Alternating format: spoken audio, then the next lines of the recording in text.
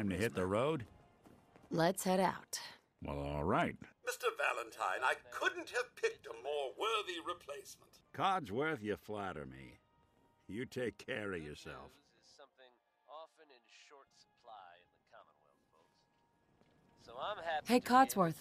Shall I accompany you, Mum? That's why I'm here. Lead the way, Mum. Don't let this one boss you around too much, Codsworth. There's nothing I'd like more, Mr. Valentine. Nick Valentine is